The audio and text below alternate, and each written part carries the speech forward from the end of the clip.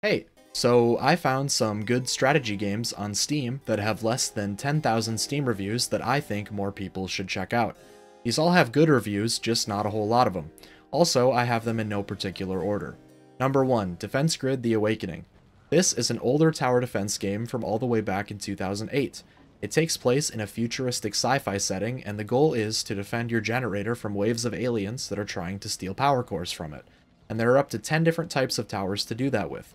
Each tower has its own pros and cons and can be more or less effective based on the types of alien that it is damaging, but there are two things that make this game special compared to other tower defense games.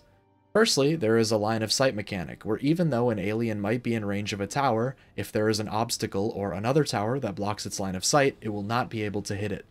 I like this mechanic, it adds another layer of depth to the game that isn't seen in any other tower defense games that I am aware of, However, the biggest game changer is that you can place towers in the way of aliens and force them to take a longer path to the generator.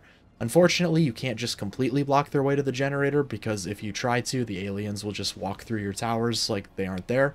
Um, but there's a lot of good strategy to this game. The two things that I just listed add a lot more to consider when placing your towers, as well as more ways to mess up and lose. I find this game to have a lot more to think about and consider than other tower defense games do. So if that sounds fun to you, you should definitely check it out. Number 2, Mage and Monsters. This is the smallest game on the list in terms of the number of reviews, with only around 700 total reviews at the time of making this video. It's an auto battler where you get to make an army and fight against other armies. There's lots of different unit types that can be unlocked through unit tier upgrades, and there are upgrades that give flat bonuses to your entire army. Even though it's an auto battler, there are spells that you can cast during the battles so that there's plenty of interactivity during them that keep it from getting boring.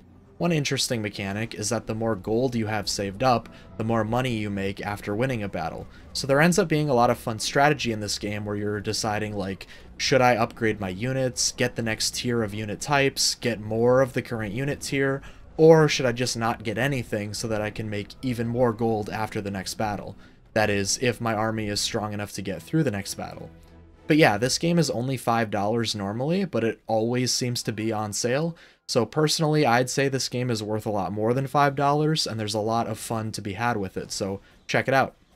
Number 3, Symphony of War The Nephilim Saga.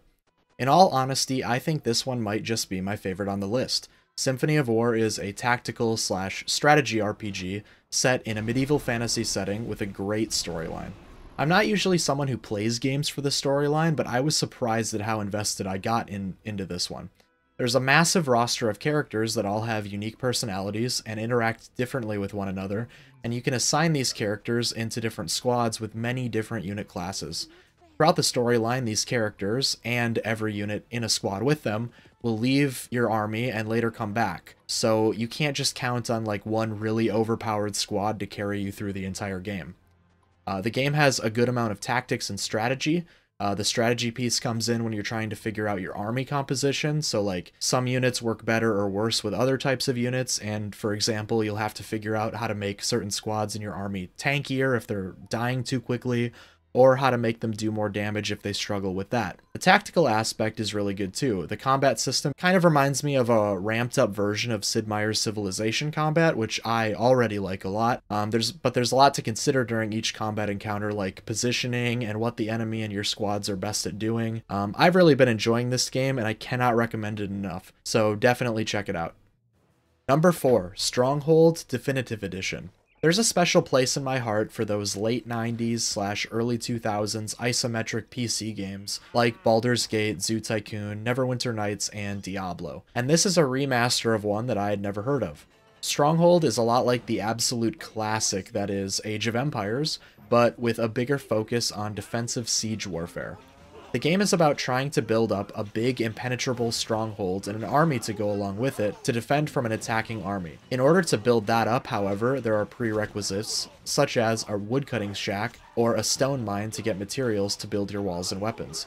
You'll also need citizenry to work those jobs, and you'll have to keep those citizens happy while simultaneously trying to get taxes out of them to fund your army. You'll need to decide where to put certain buildings because wherever you put them will determine if they are more or less likely to be destroyed during an attack on your stronghold. Uh, it's been pretty easy for me to waste a lot of time on this game recently, so check this one out too.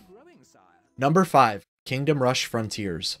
The first thing about this game that got my attention was the art style. It's a sort of cartoony fantasy tower defense game that looks hand-drawn. When I played it, it felt a lot like old Flash games like Crush the Castle, Age of War, and Bloons Tower Defense, which is a big plus in my book.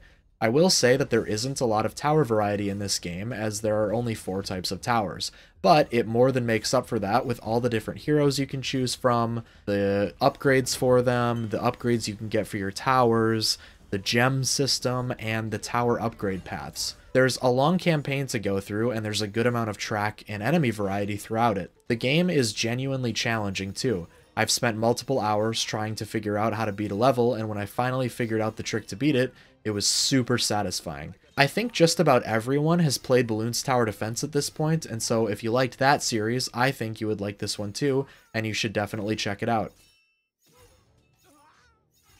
If you can think of any games on Steam that you don't think are getting the attention they deserve, please leave a comment recommending them to me and others to check out. Also, if you enjoyed this video, feel free to leave a like and subscribe to the channel to see more videos like this one.